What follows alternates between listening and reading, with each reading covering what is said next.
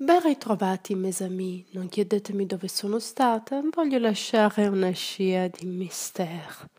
Per farmi perdonare per l'assenza vi parlerò di un classico americano, perché io so che voi italiani amate il cinema americano, c'est vrai?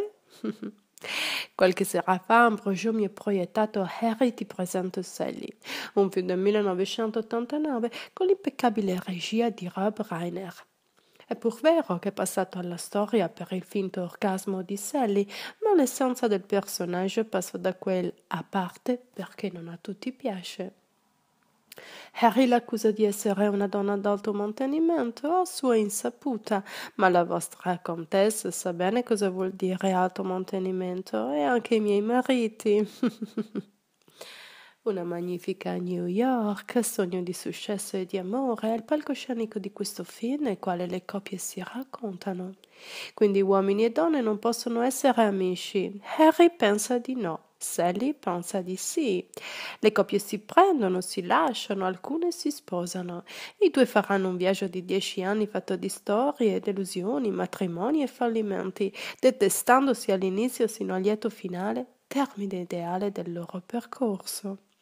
Il cinico Harry, di origini popolari, aspirante consulente politico, con il chiodo fisso del sesso, e che legge sempre le ultime pagine di un libro perché potrebbe morire, trova in Sally, che è borghese, snob, sognatrice, con l'obiettivo di diventare giornalista talmente precisa al limite del detestabile, come per esempio nelle scene della torta di mele con la panna a parte, che vi sto cucinando proprio adesso, o la dose corretta del Bloody Mary, Trova in lei insomma quell'altra metà che nella grande mela può risultare un finale scontato della cinematografia, ma non per questo non naturale, eppure desiderato, soprattutto nelle sere in cui il romanticismo ha la meglio.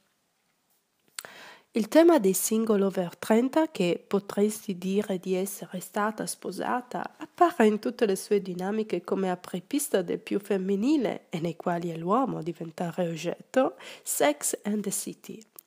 Rob Reiner e Nora Ephron giocano soppiantemente con le battute, senza cali di tensione del ritmo e la colonna sonora in sottofondo di Gershwin che culmina in quel You say potato, I say potato, you say tomato, I say tomato e ricordano un po' Woody Allen che ha fatto per la parte più grande della sua carriera proprio New York la scenografia dei suoi capolavori.